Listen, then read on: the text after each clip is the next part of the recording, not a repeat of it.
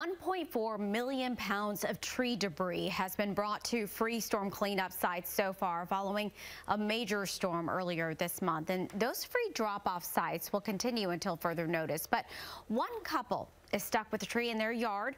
Wave News reporter Mark Stevens says they want Metro to clean it up. Mark. And Norman Smith has lived along the 14th fairway at Iroquois Golf Course for 50 years. Smith says stray golf balls have always been a problem in his yard, but now he's dealing with something that was unexpected.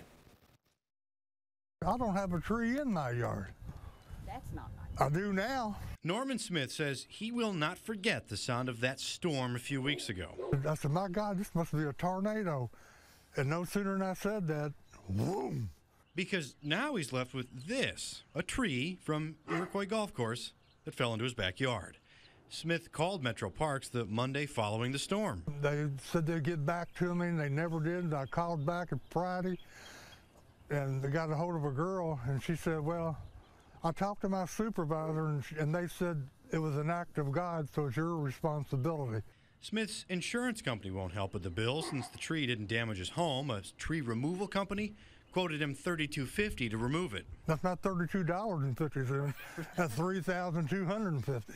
Wave News asked Metro Parks why it's not removing this tree. A spokesperson sent us the city's tree ordinance passed in 2017. But on Metro government owned property and on rights of way, uh, we need to protect our trees in a, in a particular way. That ordinance did a lot, including making property owners living next to public trees responsible for their maintenance. Case closed. Mm, not so fast. Always read the fine print.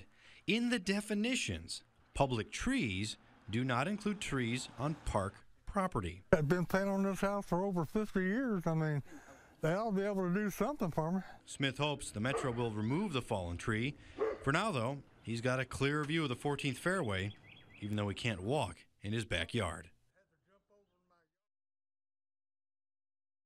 He told me he's having the division's risk management folks, basically the lawyers, contact the Smiths to see what they can work out. We'll let you know what happens. Mark Stevens, Wave News.